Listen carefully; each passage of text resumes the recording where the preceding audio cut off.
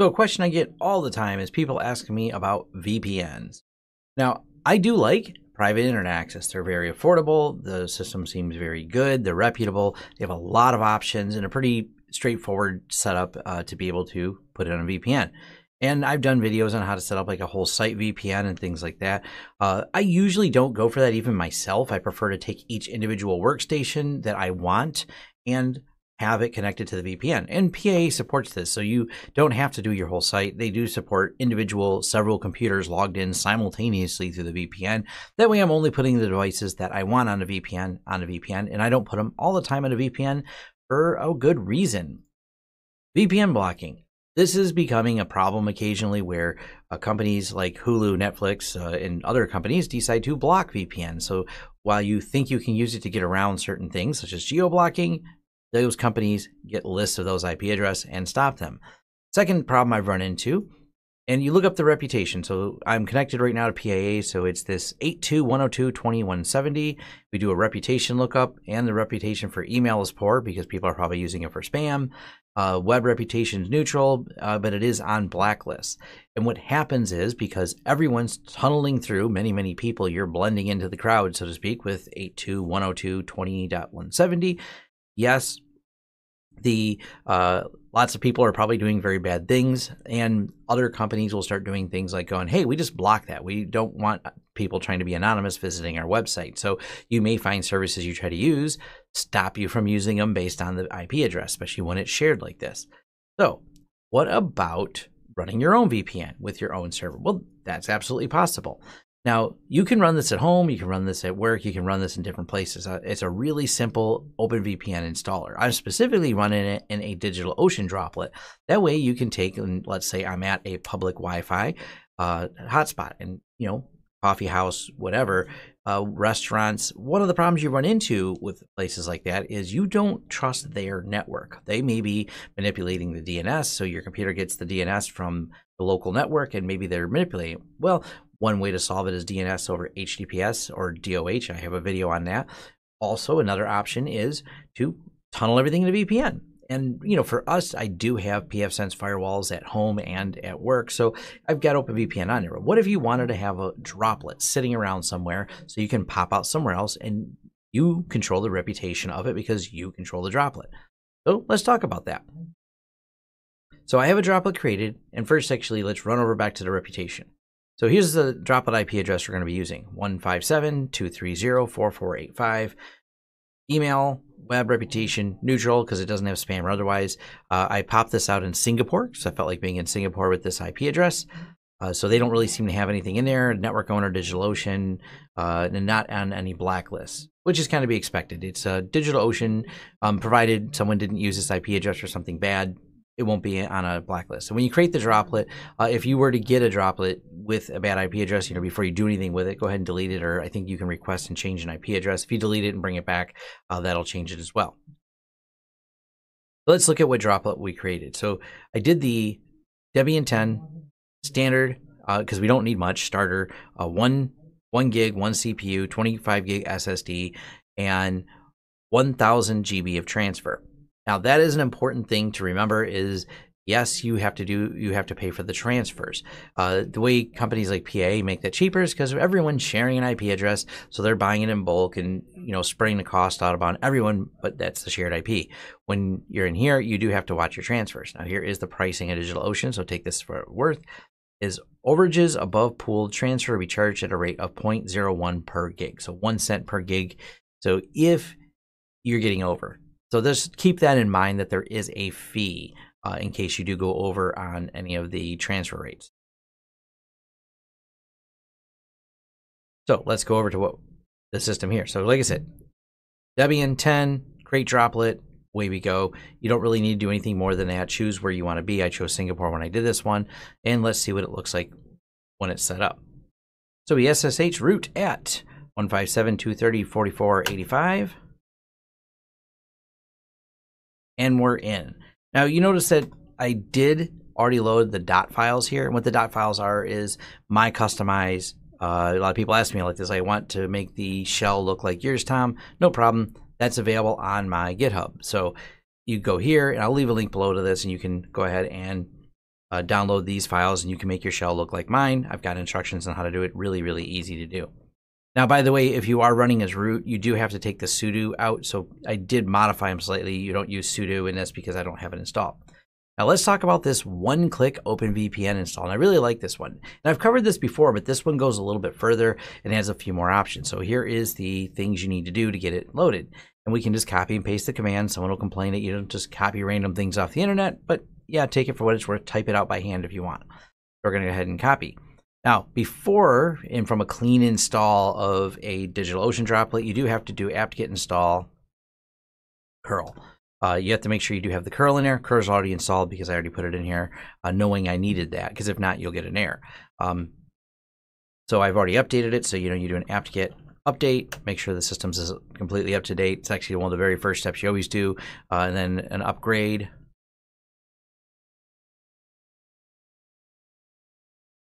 And I'll go ahead and throw this in here real quick. Unattended upgrades, we'll throw this on here and say yes while we're waiting real quick. Because I don't want you putting out a system that you'll forget to ever patch. So if you use unattended upgrades, the default is installing security patches for the system. At least it will be security patched. It's the default for uh, unattended upgrades. That just means go ahead and apply those security patches. Uh, but do go in and make sure, and I'm not going to get too off topic on this, but do make sure you uh, keep your servers up to date if you're going to use them. Don't become part of the uh, botnet of things out there. All right, so now we in curl and download this. That's curl that right there. It's chmod plus x, which means make it executable. The OpenVPN install. All right, there it is. Now watch the magic happen. We're going to go ahead and dot slash OpenVPN install. What's the IP address? Right here. By the way, this is smart enough. If you do this internally on a server, it will ask you for your public IP because it realizes it must be behind a firewall. So FYI, I thought that was kind of neat. So do we want to enable IPv6? Nope. Default port, yes, but you can change it. They made it very easy, or they'll pick one for you. You can let it pick a random port. But because we have the firewall set to 1194, we're just going to use the default port. TCP or UDP? Yep, we're going to go ahead with uh, UDP. Who do you want to use for DNS? This seems to be like a controversial topic, but um, you can use whatever the system has for DNS. You can use Quad 9, um, et cetera, et cetera. They've got a few different options in here. But uh, if you have something custom, edit your own Resolve Conf, put the custom thing that makes you happy in there. But we're going to go ahead and use the Cloudflare DNS option 3, which is the default. Do you want to use compression? Is, rec- it is not recommended since the Voracle attack to make use of it. If you're not familiar with this, this is a weird edge case where uh, someone could try to determine what traffic was inside a VPN based on how compressible it is. It's an unusual uh, angle for an attack, in my opinion, but I thought it was interesting. So it does have the default option of no. It's up to you if you want to use the compression or not. A lot of sites use compression anyways, like gzip compression. So there's already a level of compression happening. I don't really know how much of a benefit it is in terms of VPN speed. If you are wanting to mess with, it gives you the option to customize encryption settings. We're not going to choose that. We're going to use defaults. It does have solid encryption from default. Press enter. And now I'm going to make you a OpenVPN server. It goes out, updates, grabs the package packages needed, and we're almost done. Doing this in real time. I'm not fast forwarding anything. You can see how fast it sets up. Client name. Uh, this is an added feature of some of the other ones. It does have the option to password protect the OpenVPN files. Now, granted, it's not an attack surface not having the password is bad as you might think because uh, with a username and all the certificates, they still need that OpenVPN file with those certificates in it in order to log in. So I'm not going to set up a password, but we'll set up the client name of Thomas. So there we go add a passwordless client, we're going to say yes, but you do have, like I said, an option if you wanted to have a username and password on there for ease of use. I just, this is just a VPN, so I, am able to get out to the internet. Now, I will admit, if you're ever doing a work VPN, please don't ever set it to be passwordless. That's way too much convenient because you're getting inside of a network. This is just so we can quickly grab this and tunnel through this network, which I'm a little bit less concerned about. But obviously, if someone grabbed that file uh, without a password on it, all they need is that file and they'd be able to tunnel in take that for what it's worth. It has the option to add a password if you want it. Now, for each user you create, there's the Thomas one. Let's create another user. And we'll uh, all you have to do is create another user. You run it again, it realizes it's already installed, which by the way, it gives you an option to uh, add a new user, revoke a user, or remove OpenVPN and start over and remove all of this. We're going to add one more user. YouTube. Yep, same thing. Away we go. So now we can import those files and it just drops them right here in root. Now, if you're on Windows, you're going to have to use a tool like WinSCP or something you uh, get in there. I'm on Linux, so it's not a big deal. Or, and I do recommend this, if you're using Windows 10, learn how to use the Windows subsystem for Linux and you can get a cool uh, shell. And they did a nice update so you can run bash from the command line. You can set your SSH keys up. I, I really like that they added that into Windows, uh, but I'm a Linux user, so it's novel, but not necessary. If you're wondering how to do this, it's scp root colon backslash root because we know where it's at. We know it's in the root folder, and uh, it's YouTube OVPN, and then we're going to call it OVPN here. And what this does, instead of SCP to copy uh, to something, you're actually saying no, copy this to a local file with the same name. And away we go. Now, there's the YouTube OpenVPN file. So how do we connect with it? Well, you can do the import, and that varies with a lot of Linux distributions of how you import it and put the settings in. You can, and actually we can open it up real quick. These are human readable. Uh, so here's the static settings for like the remote, dev tun, blah, blah, blah, which encryption you're using. Here's the keys. And you can manually set up the VPN. There's, like I said, sometimes you can import them. It all depends on which version of Linux you're using. One of the other things you can do in Linux is, because this is command line, you do have to do sudo if you're not running as root to get this to connect. So sudo open VPN YouTube.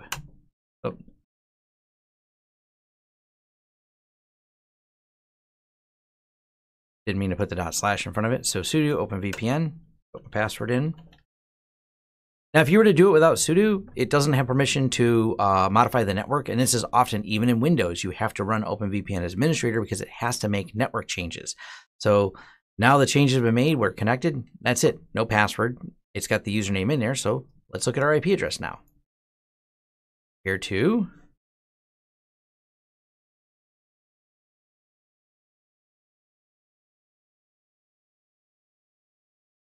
And there's my IP address. 157.230.4485. Which, like I said, same as our DigitalOcean. That's it. It's done. It's set up. Now, any of the data transfers I do, uh, as far as, you know, where am I at?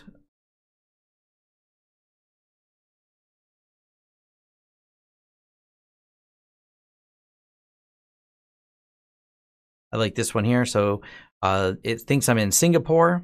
Here's the location on the map. So I show in Singapore. It's just like any other VPN at this point. I'm surfing the web fine. Um, what does Google think? Hey, look, Google's uh, has different options. Neat. So, like I said, even Google thinks right here at the bottom that I'm in Singapore. That's it. That's all you have to do to get this set up and working. Um, and like I said, you can add more users and things like that. It's really straightforward and simple. Now, for those of you running Windows, it's kind of the same thing. You can go through and uh, download the OpenVPN tool and import that file, that OVPN file, and then you have your own VPN. There's really not much else to it. This script is really simple. Um, I really like how it's, you know, pretty much. Uh, you can even auto install it, so they have options in here. So go ahead and like build an installer and go ahead and just build it even faster, which I thought was actually kind of cool. Uh, so it does have the option of working behind NAT, so you can port forward to it. So if you don't have like something nice like a pfSense firewall that has VPN built in, it does have that option to uh, be, work behind there. It does support more than uh, just Debian 10, Fedora, Ubuntu, et cetera, et cetera. They have a whole compatibility list. Like I said, I'll leave links to all this. And if you want to sign up for DigitalOcean, I do have an offer code, an affiliate link. If you'd like to sign up to that, it does help out the channel, and I do appreciate it. And if you want to sign up for PIA, because you're going, I don't want to do any of this, I just want to use a VPN like PIA. PIA is a great service, and I use them as well. Uh, there's an offer code down there for that too. So, like I said, I'll leave links to all this. Uh, it's kind of fun to play with, but it's really easy to run your own VPN uh, and then put it in a place and maybe get around things because, like I said, the reputation on this, and I'm the only one using it, or any friends I share it with are the only ones using it, and you know, so I'm fine with this. Maybe that's something you want to do is share the VPN with you and your friends and share the five dollar a month cost plus any overages for bandwidth that you have. Um, and tie it all to this VPN and just don't give it to friends that'll give this IP address a bad reputation and it should stay unblocked. All right, thanks. Thanks for watching. If you like this video, give it a thumbs up. If you want to subscribe to this channel to see more content, hit that subscribe button and the bell icon, and maybe YouTube will send you a notice when we post. If you want to hire us for a project that you've seen or discussed in this video, head over to lawrencesystems.com where we offer both uh, business IT services and consulting services and are excited to help you with whatever project you want to throw at us. Also, if you want to carry on the discussion further, head over to forums.lawrencesystems.com where we can keep the conversation going. And if you want to help the channel out in other ways, we offer affiliate links below, which offer discounts for you and a small cut for us. That does help fund this channel. And once again, thanks again for watching this video and see you on next time.